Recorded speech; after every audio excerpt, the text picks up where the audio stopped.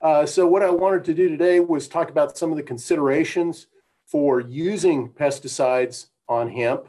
Uh, I was going to delve a little bit into the specifics of what we have registered within Kentucky, so it's going to be very state specific.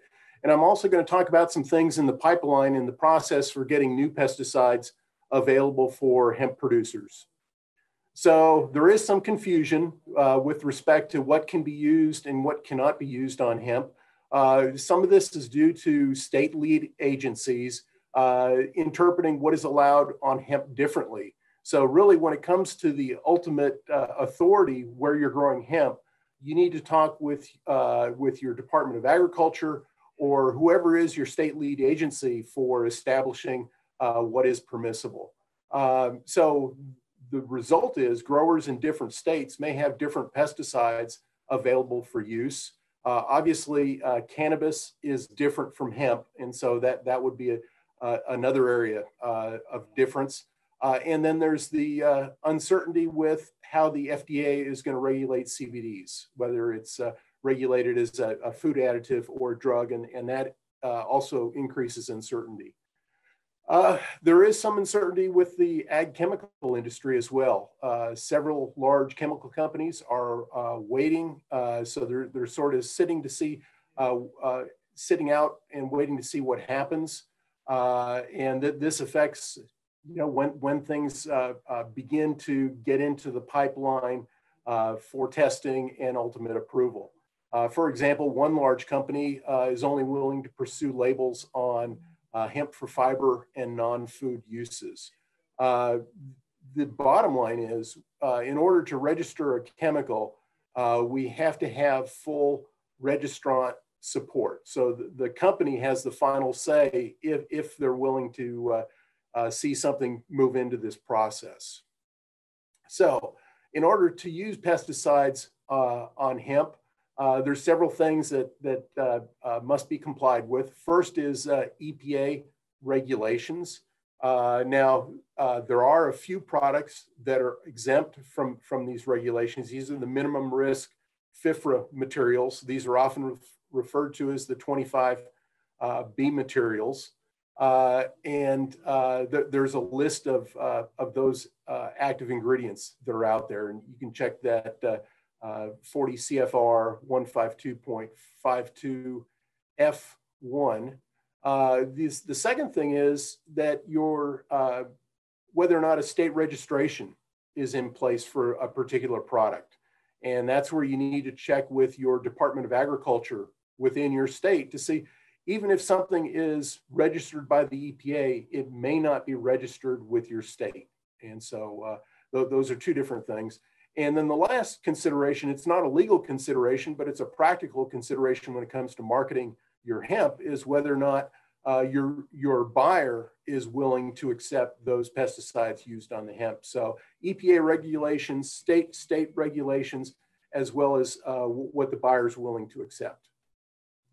Uh, you know, keep in mind that the label is the law when it comes to pesticides. Applicators cannot use pesticides inconsistent with the label.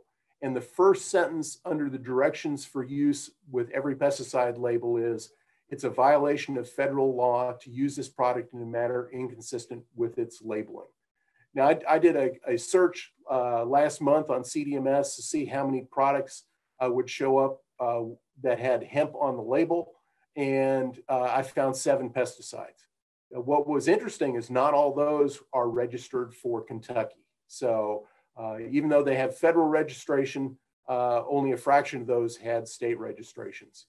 Now there are some minimal risk pesticides that do allow use on unspecified crops. And you'll see some verbiage on some of those labels like and other crops, uh, crops listed but not limited to, or crops such as. And so th those, uh, uh, there's a little bit more flexibility with some of those labels.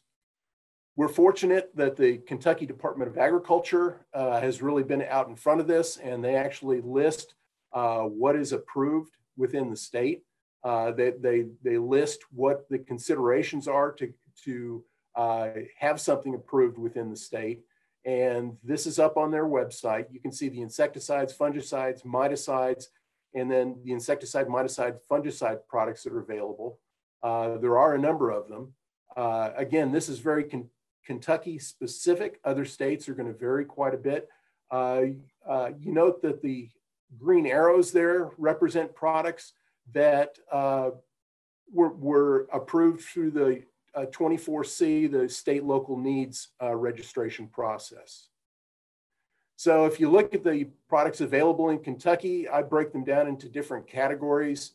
Uh, we do have some products for corn earworm and tobacco budworm. That's a nuclear polyhedrosis virus of corn earworm. Uh, we have two products, Gemstar and Heligen, that are available. These are very specific products and will only affect the, these particular pests. We have some BTs. Uh, we have Monterey BT and Agree selective, and these provide caterpillar control. Uh, we have a product that's based on an AI with pyrethrins. Uh, we have a category of, uh, or I have a category of essential oils, and there's really a variety of different essential oils uh, in those various products, and they can affect uh, various insects differently. And then we have an oil, the Organocide. So with the Kentucky Department of Agriculture, the criteria for uh, pesticide use on hemp, uh, the, the, label needs to allow use on unspecified crops if it doesn't have uh, hemp specifically on the label. Uh, it allows application to the intended site. Uh, it does not prohibit use on crops for human consumption, and it must be applied by a licensed applicator in Kentucky. Uh, there are several different types of registrations available. Uh, really, what I consider the gold standard is what we call the Section 3 label. You know, when you buy a pesticide at a dealership, uh, this is a label that you find attached to the, uh, the container. It's the most common type of label. Uh, you know, a year ago in July, the first temp hemp labels were approved.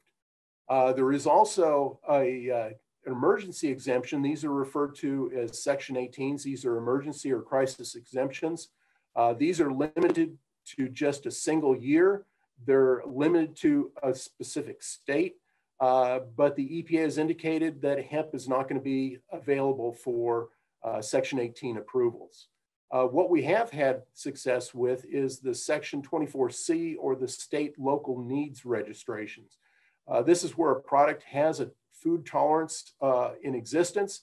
Uh, the, these are uh, uh, issued to individual states, and these are limited in time, typically to five years.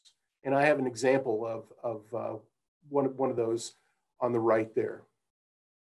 So really what we want to see are, are section three labels. They're, they're uh, long, they, they, they cover uh, generally the, the entire country. Uh, pesticide registrants, that's the companies that produce the chemicals, uh, can pursue this with the EPA. The other way is through the IR4 project. This is a, a, uh, a project that facilitates registration of pesticides onto specialty food crops, minor use crops. Uh, it's in cooperation with the registrants, and the IR4 conducts the residue trials and submits registration packages to the EPA. Now, that, that, that sounds great uh, it is a slow process. Uh, just like get, getting the vaccines for COVID is slow, getting pesticides registered on new crops is slow. And it generally takes three to four years to get uh, crops onto these labels. Uh, each year, the IR4 program, uh, they, they run approximately 40 or so uh, residue trials on different crops in the country. This is the result of their food use workshop where they identify uh, projects in the coming year. And you can see in 2019, they identified two hemp projects. Uh, it's a very competitive process when you think about all the commodities, all the pests, uh, diseases, and weeds of those crops.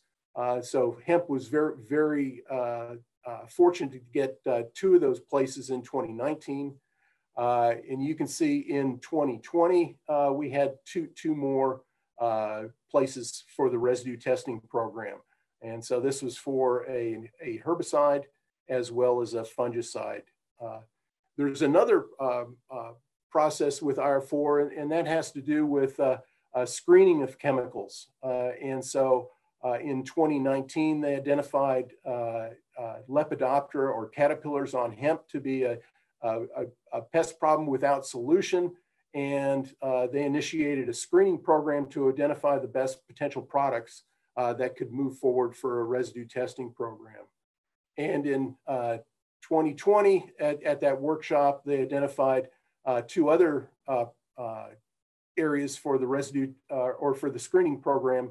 That would be mite control on hemp, both in the field and in the greenhouse, as well as damping off for organic hemp. So uh, there still is some uncertainty.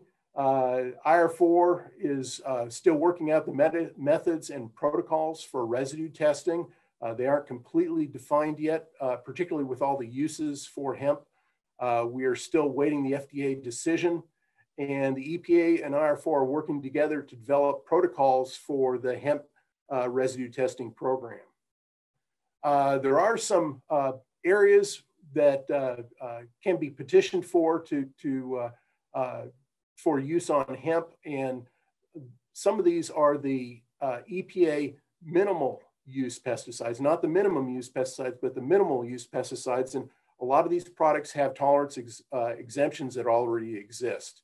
And th this is just uh, uh, some of the insecticides that are out there. The green ones, we have been successful with getting 24Cs or state local needs uh, registrations.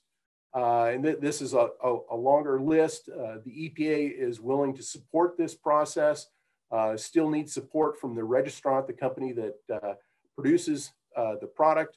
Uh, people that are interested in this need to work with university specialists and they can petition their, uh, their uh, departments of agriculture.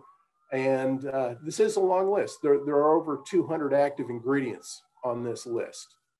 So strategies to move forward, um, minimum risk pesticides, those 25B materials are, are available.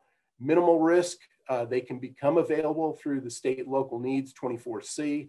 Uh, in terms of conventional pesticides, uh, we're looking at progress from IR4. We're waiting on the FDA decision, and we're looking for registrant support.